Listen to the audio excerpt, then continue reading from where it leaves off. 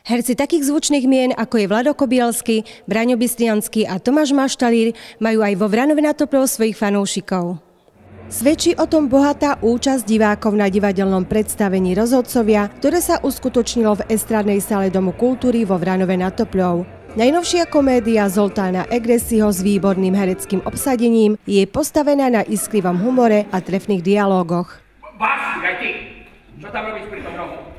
Dobehni tam pre Boha aspoň kým už, aspoň kým vykopnú, dobre? Minúta bola vonku, podané zvonku sa smrtla naspäť. Ty si to mal hlásiť, keby si tam bol.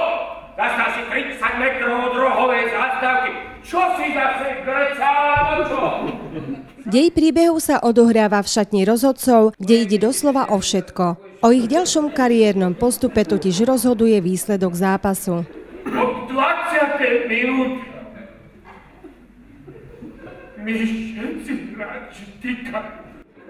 Ten človek, e, ktorého hrám, je, je veľmi, veľmi ambiciózny, má veľké ciele, sníva o tom, že sa dostane z tej dedinskej ligy e, do, má vysoké méty, e, chce pískať prvú ligu a chce pískať UEFu, FIFU, zkrátka medzinárodné ligové súťaže. A strašne si na tom zakladá, robí všetko preto, obetuje kopec času na prípravu a zkrátka má výrazný cieľ.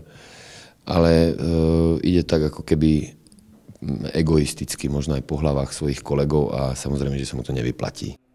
V tejto napätej atmosfére vyplávajú na povrch aj ich osobné problémy. Kým jeden ich rieši alkoholom, iný to skúša tvrdým tréningom v posilovni. Diváci s napätím sledujú boj troch ústredných postav nielen o priazen ženy, ale aj o slávu či uznanie. Moja postava je o tom, že nie je až taký ambiciózny ako túto kolega, ale zároveň prežíva obrovskú lásku k žene, ktorú mu preberie tento človek a utápa svoj žiaľ aj alkoholom. Takže som alkoholik. Moja postava je veľmi ubolená v tomto. On síce vyzerá, že má že má hnusný charakter, hnusnú povahu, ale ono je to spôsobené tým, že má naozaj ťažký život a, a tá bolesť proste tu potom vrhá na iných a hľadá vinu v iných ako v sebe možno a nevie sa z, tejto, z, tej, z tohto hnoja nejako vyklúčkovať sám.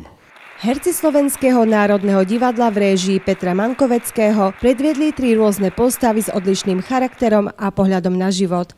Svet športu a dravého súťaženia okorenili patričnou dávkou humoru. O, Vranovský divák, dneska sme sa presvedčili, že je vynikajúci, nám sa hralo perfektne. Je tu veľmi pekné a dobré publikum, lebo reakcie boli úžasné. Myslím, že ľudia sa bavili a myslím, že my ich spravili trošku radosť. Takže odkaz je len taký, že ak sa im to páčilo, tak nech to šíria ako mor túto zväzť a potom kultúrne stredisko nás možno ešte raz pozve. Radi prídeme. Pre TV Vranov Silvia Nusová.